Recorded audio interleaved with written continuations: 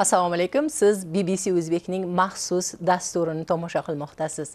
Turkiya ming minglab afg'onistonliklar bosh urgan mamlakat. Urushlar iqtisodiy qiyinchiliklardan qochgan insonlar barchasi ham bu mamlakatga qonuniy kirmagan. Va hozirgacha ham kattagina sondagi afg'onlar rasmiy hujjatsiz istanbul kabi shaharlarda istiqomat qilishadi. Ular sog'liqni saqlash ta'lim va ijtimoiy madaniy xizmatlardan foydalanish imkoniyatlaridan mahrumlar. Istanbulning zaytun burni mintaqasida ta'limdan bebahra qolayotgan bolalar soni ham talaygina. Men mavzuni o'rganishga harakat qildim. 2022 yilning oktyabri. Zaytun burniga davlat rahbari rajab toyib erdo'g'an kelmoqda. U milliy bog'ni rasman ochib beradi. Bu yerda yashovchi erkagu ayol yoshu qari uni kutib olishga shoshilgan. Bilasiz zaytun burni asosan afg'onistonliklar e, yashovchi e, mintaqa hisoblanadi. Hozir mana shu yerda to'planganlarning aksariyati afg'onistonliklar xususan afg'onistonlik o'zbeklar. Siz o'zingizni tanishtirasiz man o'zim e, oq partiya xotin qo'llari tashkilotidayim dish ilishkilar boshqoniman afg'onistondan kelgan bir ko'p vatandoshlarimiz bor. Afg'onistondan kelgan saudiya arabistonga o'tishgan saudiya arabistondan bir cho'q vatandoshlarimiz bor. Har zamon bular rajab tayyib erdo'g'anni orqasida alhamdulillah e, taqriban besh yuz kishiga yaqin mani mana shu yerda hozir vatandoshlarim bor orqamda. Ya'ni besh yuz kishiga besh yuz besh yuz kishiga yaqin bor. Man taqriban yuz ellik kishini ayollardan e, bizim xotin qo'llari bosh boshqani bosh bo'lib olib ketdi. Ular ilgarida turishibdi. Bitta hozir erkak xotin aralash vaqfimiz bor dannakimiz bor hozir bu yerda. Hammamiz barobar hozir qo'l qo'lga berib mana shu yerda oyoqda timdik inshaalloh endi mana siz ak partiyadansiz ak partiyadanman bu yerda yashayotgan masalan yangi kelgan oldinda yashab kelgan muhojirlarni albatta o'ziga yarasha muammolari o'ziga yarasha qiyinchiliklari bor. Shu qiyinchiliklarni masalan iqoma masalasida yoki viza masalasida shu qiyinchiliklarni hal etish yo'lida ak partiya ya'ni e, hizb nima ishlarni amalga oshirmoqda zotan shularni hammasiga yo'l ochib muhojirlarga eshigini ochib mazlumlarga eshigini ochgan oq partiya undan boshqasi zotan qilolmaydi. Oq partiya ularni hammasini jumhur boshqonimiz eshigini ochdi. Bir e, nimalarga e, afg'onistondan kelgan muhojirlarga emas suriyalik bo'lsin mana hozir ukraina nima bo'ldi ularni ham olgan. Alhamdulillah hamma butun mazlumlarga turkiyani eshigi ochiq. Bular endi iqoma albatta siqintilari bor shuning uchun dilakchalar yozishgan ariza yozib kelishgan shu arizalarni berishmoqchi maqonlarimizni qo'liga ulashtirib bilsalar shunaqa inshaalloh hadaflarga hammasi siqintilari hamma bizni ham orzumizki shu siqintilarini biroz bo'lsin ozaltish men gaplashgan deyarli hamma davlat rahbariga hurmat dastak ko'rsatishni istaydi ayni paytda unga arz qilmoqchi bo'lganlar ham bor.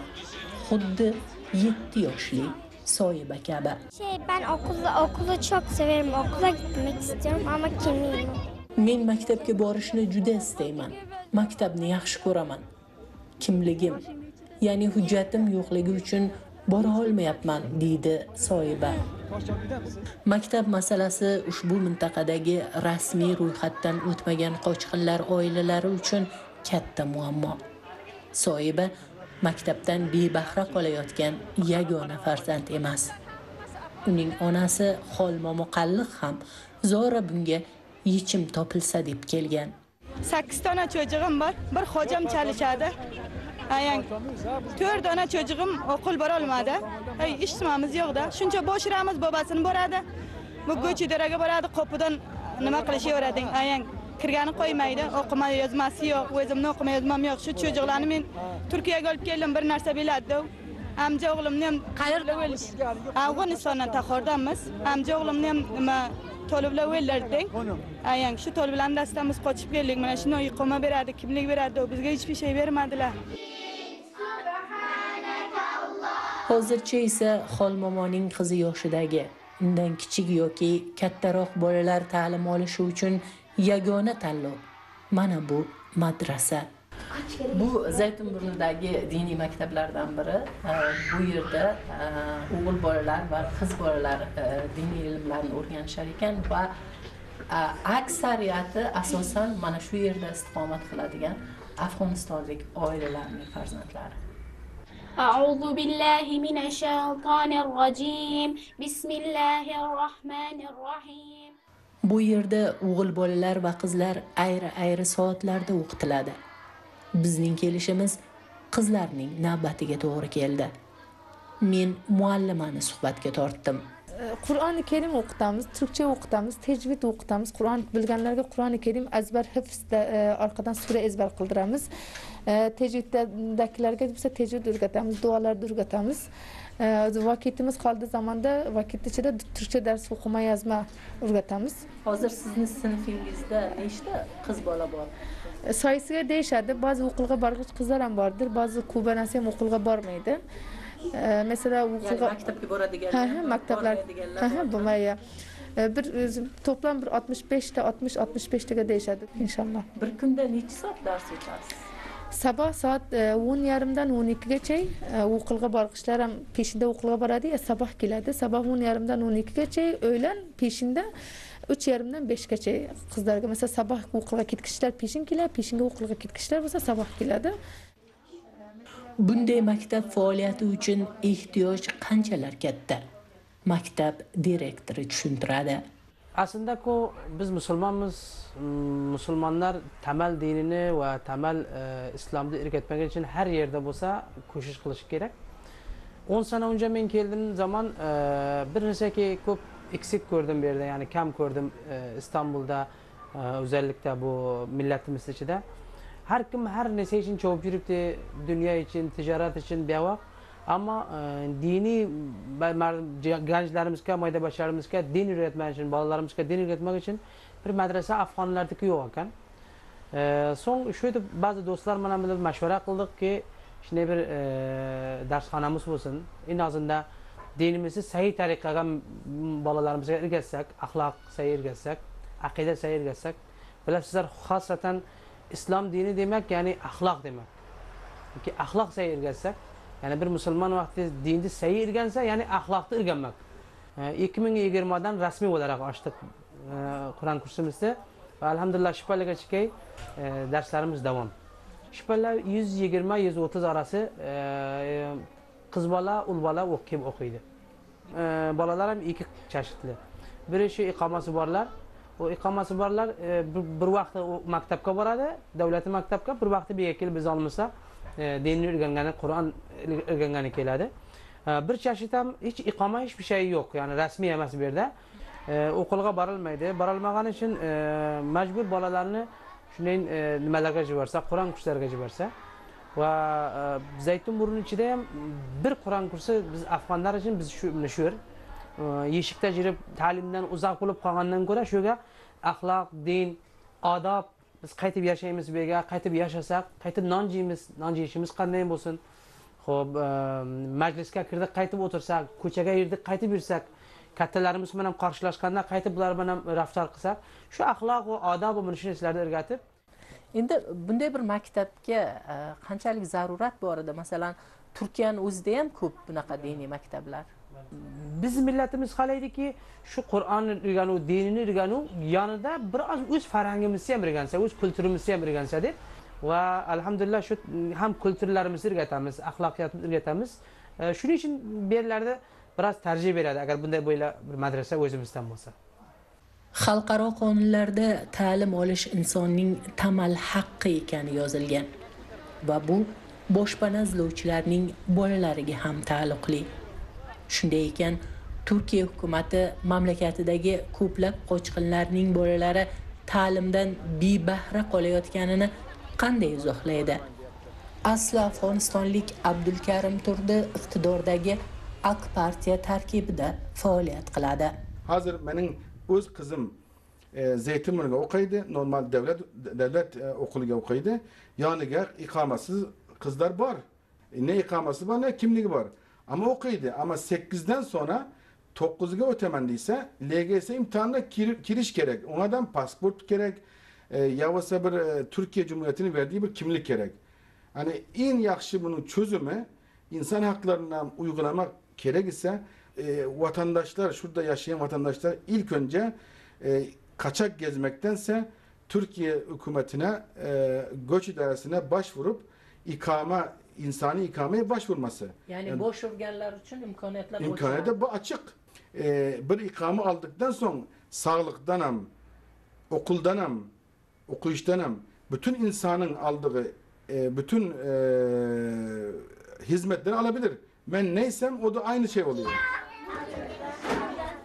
iqomasi qonuniy yashash izni yo'qlar esa hozircha madrasaga qatnab turishadigan ko'rinadi bugungi dars nihoya topib qizlar uy uylariga tarqalishadi navbat o'g'il bolalarga yana bir afg'onistonlik bola amin qur'on tilovatini boshlaydi أعوذ بالله من الشيطان الرجيم بسم الله الرحمن الرحيم vatanni tark etib istanbulga kelib o'rnashgan afg'onistonliklardan biri bu mukarram muhammadiy u turkiyaga inson qochoqchilari yordamida kelgan. Ammo bu yerda yashash iznini olish mushkulligi hujjati yo'qligi sabab kun o'tkazish uchun noqonuniy ishlashiga to'g'ri kelayotganini aytadi. Men istanbulda uning oilasi bilan ko'rishdim. Nurziyo 6 oylik. Otasi afg'onistonda o'ldirilganida u ona qornida bo'lgan. Uch yetim bilan boshi ochiq qolgan onasi yaxshiroq hayot izlab turkiya tomon kelganda eri shahid bo'lgandan keyin yetimlar maydonida qolgandan keyin tilatib oldim. Nima bo'lib vafot qildilar kuyovingiz shahid bo'ldilar toliblar o'ldirdi. Askarlarga bilsa nima pishirardi osha pishirardi ovqat qilardi ovqat tavzi qilardi. Ovqatga borayotgan ekan. Mototsiklni ustiga keyin toliblar oldin kamin olib turib otib tashladi chaqaloq bu yerda tug'ildimi chaqaloq bu yerda tug'ildi. Olti oylik bo'ldi chaqaloq. Nurziyo hozir momasining qaramog'ida. Onasi tug'ilmasdanoq undan voz kechgandi. Ona kameraga gapirishni istamadi. Aya dedi men dedi "Ha, agar chaqaloq ertaga dedi dunyoga kelsa dedi men uchta sag'irni boqayman buni boqayman agar man ishlamasam siz o'zingiz qarisiz endi yosham ketgan siz bir, bir sizni topganingiz o'n olti yashar ukamni topganlar nima bo'lmaydiku men ham ishga chiqsam buni kim qaraydi birontaga beraman deb mana shunaqa qildik keyin ya'ni boshqaga bermoqchi ha, boshqaga bermoqchi edik. Boshqaga bermoqchi edik keyin ukalari qo'ymadi. Shu mayda ukasi qo'ymadi aytdiki o'zimni och qilaman dedi buni qarayman dedi. O'zim yediraman ichiraman shunga shu qarayman o'n dedi. olti yosh o'g'lingiz ha ana shu yerda hech vaqt bermayman birovga deb keyin mana shunaqa qilib u ham yetim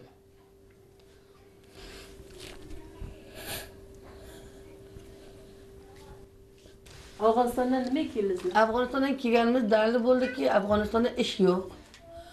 G'arbchilik yo'qchilik bemor vaqtida kasal bo'lgan vaqtlarimizda topolmay qoldik. Bir doktorga masalan bolalarimizni bir madrasasiga nimasiga topolmay qoldik. Afg'onistonda man o'zim bo'loni qilib berardim. Hop, manti qilib berardim sotgani. Bitta o'g'ilcham bor edi. Hozir shu yerda ishga ketgan. Ana shu sotib keladi ana shularga salom qilardik. Boshqa ishlaydiganimiz yo'q edi topadiganimiz yo'q edi. Yo biron joydan yuboradiganimiz yo'q edi mana shunaqa edik. Oxiri turkiyaga ha turkiyaga keldik bu marta turkiyaga keldik qarzdor abgor bo'lib keldik turkiyaga. Buni ham mana shu yerda qochoqbarlarga qarz qilib mana shu yerda topganimizni qochoqbarga ishlab qochoqbarga berdik. Mana shunaqa qancha berdingizlar bir ming ikki yuz dollardan bergandik. Odam boshi odam boshi. Qarzdor bo'lib qoldik. Ana shunday qilib keyin biz yaqinda o'zib xalos qildik. Ya'ni iqomamiz bor natijamiz bor. Hech nimamiz yo'q. Ne bolamizni ko'rsata olamiz bu doktor maktarga ne o'zimizni ko'rsata olamiz. Mana man ko'zimdan zaifman mana shu oyog'imdan belimdan mayibman. Men borib nima qilolmadim. Kasalxonaga borib nimalarga borib o'zimni ko'rsatib yotolmadim hech. Biron vaqt bir kasal bo'lib qolsak sal bir isitma kasal bo'lib qolsak afg'on doktorlar bor ekan shu yerda boramiz foyda ham qilmaydi. Murojaat qildingizmi shu dokumentlarni hujjatlarni olishga? Bordik e, Anqaraga- tashkilotlarga murojaat qildingizmi? Anqarada qilgandik balkim bilmaymiz qayerga borarimizni bilmaymiz tanimaymiz. Qaysi daftarga borarimizni yo masalan qaysi davlatga borarimizni bilmaymiz. Bu oyda masalan kironi berib olsak bir oy ikki oy qolib ketadi kiromiz siqintimiz ana shunday barq paysamiz suv paysamiz kelsa oydan oshib ketadi. Ustiga jarima kelib qoladi qanday qilib tirikchilik qilyapsizlar? Ho'p ishlaymiz. Qanday qilaylik? Zaytun birida makina tikaman o'zim makinaga boraman. tikuvchilik ha tikuvchilik hujjatingiz bo'lmasa iqomangiz bo'lmasa bu noqonuniy ishmi endi noqonuniy ishda. Bir kunda necha soat ishlaysiz? O'n ikki soat. Necha pul pul beradi oyiga? Oyiga bergani uch ming. Uch ming. Lira. Lira. Endi hozir ishga ketgan o'g'lingiz necha yosh? O'n olti yosh o'n olti yosh ishlayapti. Ha nima qilsin hay guzaronchilik mana maydagina chaqaloq bor. Bo'lmaydiku. Nima ish qilyaptilar mana shu o'rtacha makinaga o'rtachilik qiladi. Ammo tinchmiz urush yo'q deya suhbatga qo'shiladi mukarramning ukasi abdulbasir. Berganiga shukur alhamdulillah jicha rohatmiz turkiyaga kelib turkiyani davlatdan bizlar xushmiz Ur- urdug'ondan. Uch xonali xonadonda uch oila istiqomat qiladi ularning aksari bolalar. Nurziyoning opalari tog'avachchalari endi man o'tiraman qizim o'tiradi ukam o'tiradi. Uch bola o'tiramiz. Ukam guzarona aloyda qizimni guzarona aloyda maniki aloyda. Hammamiz ishga chiqib ketamiz ana shu besh oltita bola qoladi uyni ichida. To'rtta bular beshta ular to'qqizta. Biz ham e, nimamiz? To'rttamiz endi chaqaloq bilan o'n uch kishi. Bular maktabga keta oladimi? Ketolmaydida maktabga asnot bo'lmasa qachon ketadi.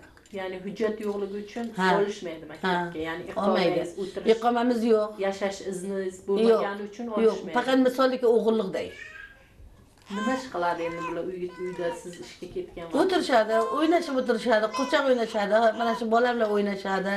Televizor chalon qilishib olib berdim bir qarz qavol qilib uni ham qisqa olganman. Qarzga? Ha. Mana shunaqa qilib shu bolalar bir yoqqa chiqib ketmasin. ma- shunga malaka bo'lsin deb shunga qarashib o'tiradi manday bir nimalarni qo'yishib. Mukarram opaning ota bobosi asli o'zbekistonlik. Asli joyimiz marg'ilondan bo'ladi marg'ilondanmiz. Otamni o'zi enamni o'zi ayamlar hammasi marg'ilondan o'tib kelishgan o'zbekistondan o'tib kelishgan. Shu bir vaqtida shu zamon peshlarida shu rahmatli bobom bor vaqtlarida urush ekanku ashaqlar ham urush qo'ymaydi ekanku musulmonlarni yayrab yashnab yurgani ana shunda keyin dadam dadalari ayalari shu dadamlar hammasi ashaqdan o'tib kelganlar. Afg'onistonga kelib tavallud bo'lgan emas shu marg'ilonda tavallud bo'lgan ular.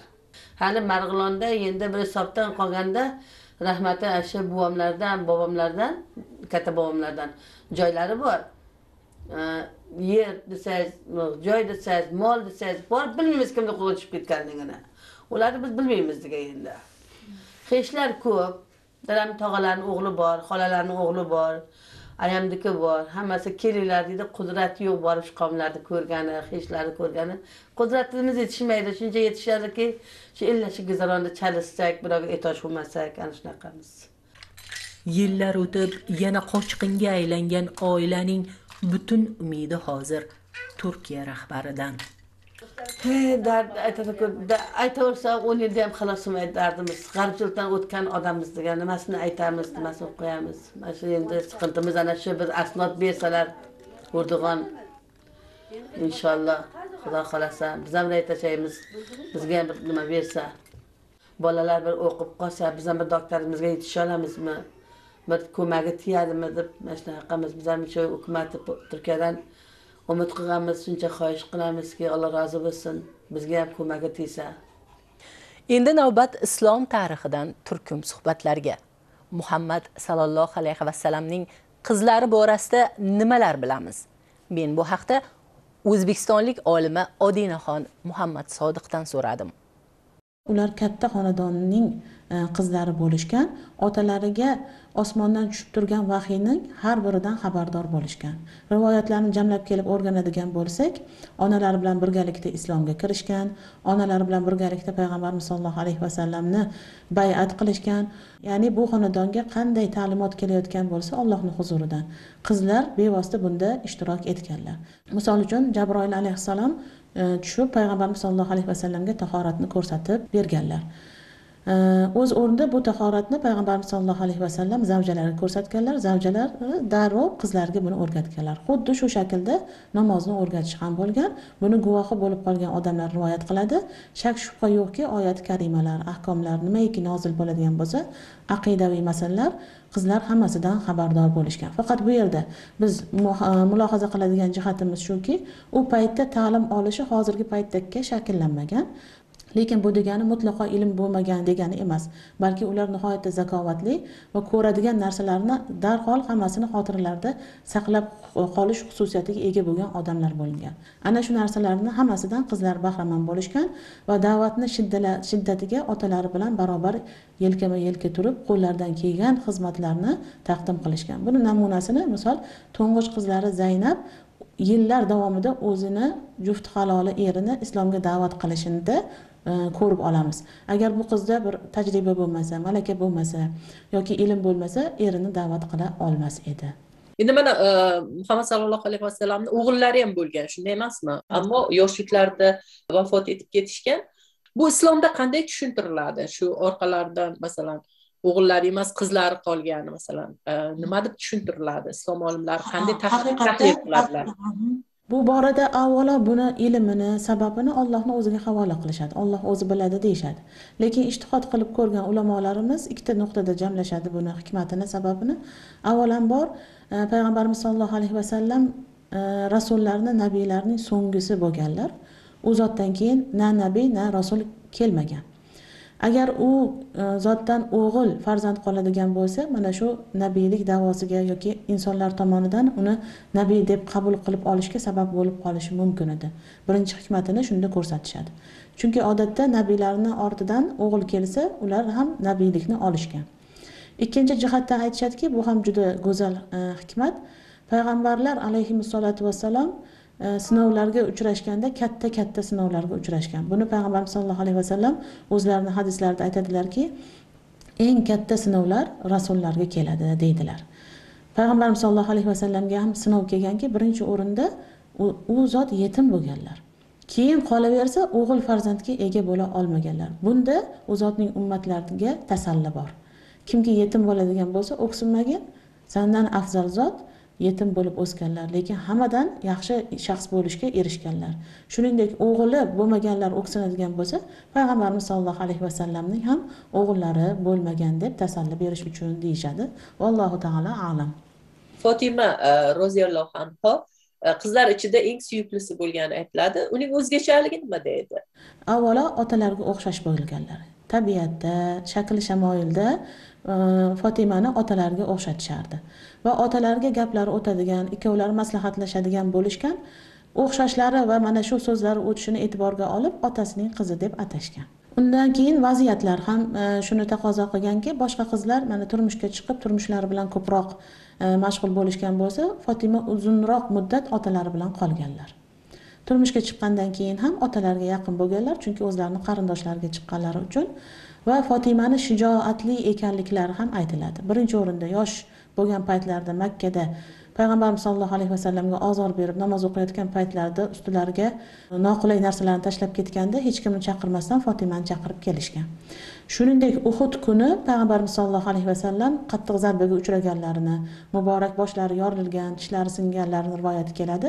Shunda birinchi bo'lib qizlari yordamga yugurib otalarini himoya qilib u kishini e, yaralariga boshqa joylariga qaraganlar ya'ni jangga chiqqanlar. Odatda jangga har qanday ayolni emas faqat shijoatli ayollarni olib chiqib ketiladi. Mana shu jihatlardan va boshqa xususiyatlaridan e, maqomlari biroz boshqacha bo'lgani aytiladi. Fotima roziyallohu anho e, nasllarning davomchisi ham e, shunday emasmi? Albatta e, nasllarning davomchisi chunki payg'ambarimiz sollallohu alayhi vasallamni aytganimizdek faqat qiz farzandlari bo'lgan. Qiz farzandlaridan ham ikki farzanddan nabiralar bo'lganku o'g'illari turmagan faqatgina qizlarni qizlari qolgan. Payg'ambarimiz sollallohu alayhi vasallamni nasllari aynan fotima onamizdan davom etgan. Ya'ni fotima onamizga hasan va husan farzandlari inom qilib berilgan. Hozirga qadar bulardan tarqagan zurriyot mavjud. Payg'ambarimiz sollallohu alayhi vasallamni avlodlari hisoblanadi. Fotima roziyallohu anhu muhammad sallallohu alayhi vasallam vafotidan ko'p o'tmay vafot etadilar. Shunday emasmi? Yigirma to'qqiz yoshda bo'ladilarmi yigirma to'qqiz yoshda bo'ladilar. bu vafot tafsilotlari ma'lummi payg'ambarimiz sollallohu alayhi vasallam e, o'lim to'shagida yotganlarida qizlarini chaqirtiradilar va quloqlariga pichirlab xabar beradilar. Bir narsani aytganlarida fotima yig'laydilar ikkinchi xabarda kuladilar. Buni o'sha paytda sababini oysha onamiz so'raganlarida payg'ambarimiz sollallohu alayhi vasallamning sirlarini sotmayman deydilar. Keyin vaqt o'tib payg'ambarimiz sollallohu alayhi vasallam o'tib ketganlaridan keyin buni sirini aytadilar. Birinchi xabarda E, vafotlari hozir bo'lib qolganini aytadilar. Chunki jabroil alayhissalom har yili e, qur'on xatmi uchun bir marta kelardi. Bu safar ikki marta qildik. Bu meni vafotim uchun dalolat deganlarida e, u kishi xafa bo'lib yig'laydilar. Ikkinchi bor o'zlariga ahllaridan eng birinchi yetib boradigani fotima ekanligini aytganlarida kuladilar. Shuningdek fotimani jannatga e, sayyidalardan bo'lib birinchi kirishni kirishlarini maqomlarini xabarni berganda ham u kishi kuladilar. Buni siri shunda bo'ladi. Endi o'zlariga haqiqatda olti oy o'tib e, yotib qoladilar. Bu vafot bemorligi bo'ladi. Oxirgi lahzalargacha mahkam taqvoni ushlaganlar va mana shu bilan vafot etganlar. Endi qizlarga nisbatan ikkinchi darajali shaxs sifatida qarash hali ham mavjud. Bu ayrim jamiyatlardagi eng og'riqli nuqtalardan biri. Buning ortidagi sabablar nima deb o'ylaysiz? Asosiy sabab manfaatda ya'ni farzandni ortidan keladigan manfaatda deb bilaman o'sha paytda ham mana nima uchun qizlarni istashmagan? Chunki e, qizlar jangda qilich ko'tarishga yaroqsiz. Bu foyda keltirmasligi. Yoki bo'lmasam zarar keltirishidan qo'rqish zarari nima bo'ladi? Asira tushib bizga or keltiradi deyishgan. Shu fikr masalan e, ayollar e, bir ma'lum yoshga yetgandan keyin turmush quradi boshqa xonadonga o'tib ketadi uni foydasi boshqa xonadonga tegadi. Ota ona yoki yaqinlari uni foydasidan bahramand bo'lishmaydi. Shu sababdan yoqtirmasliklari mumkin. O'g'il esa ota onani oldida qoladi uni topgani ota onani topgani bo'ladi. E, bu hozirgi jamiyatimizda ham bu tushunchalar bor. Mana shu deb bilamanki asosiy sabab manfaatni ko'zlash. Bugun bbcga ana shular. Kelgusi barnomamizga qadar xayr. Omon bo'ling.